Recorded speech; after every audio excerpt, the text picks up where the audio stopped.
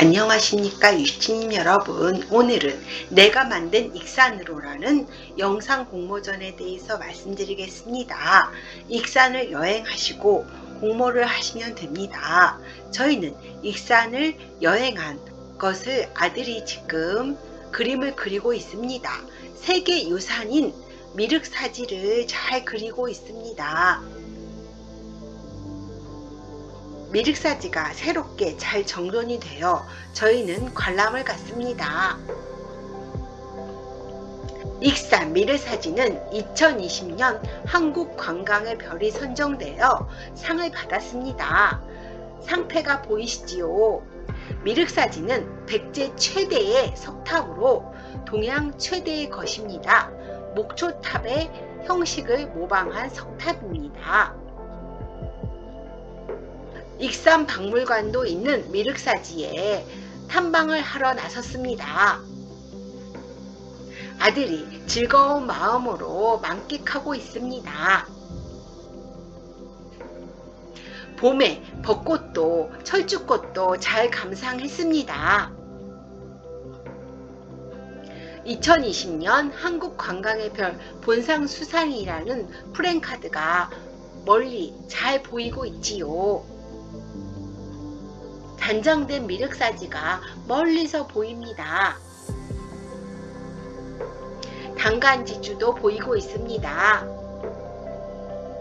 수년간의 노력으로 단장된 미륵사지가 유용을 자랑하고 있습니다. 아들이 이곳에서 나라의 안녕과 평안을 비는 기도를 오래 드렸습니다. 익산 박물관 의 모습도 보이고 계십니다. 익산 박물관에서 많은 유물들을 관람했습니다. 나무 그림자가 얼 비치는 연못을 보고 계십니다.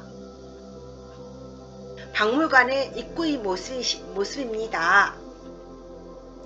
익산의 맛집을 소개합니다. 순두부 고작이 가지고 있는 순두부 가게였습니다.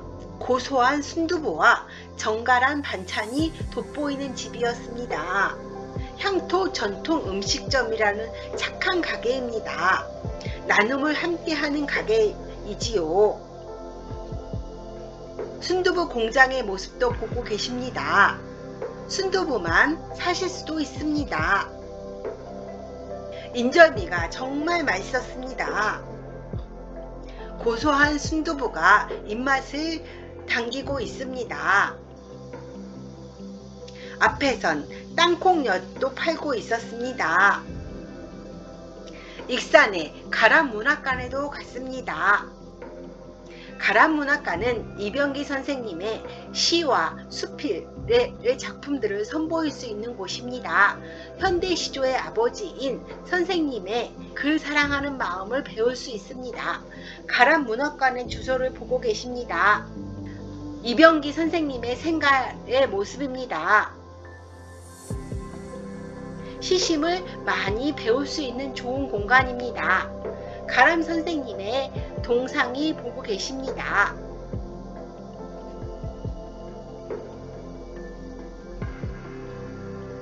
가람 선생님의 생가입니다.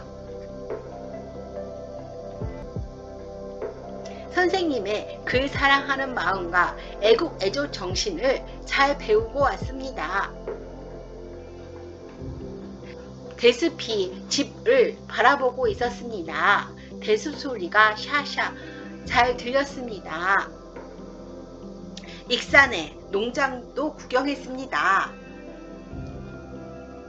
봄이라 양파를 키우는 집들이 정말 많았습니다. 농장에 양파 수확을 체험하고 왔습니다. 양파가 끝도 없이 많았습니다. 여러분들도 익산을 구경하시고 같이 영상 공모전을 하시기 바랍니다.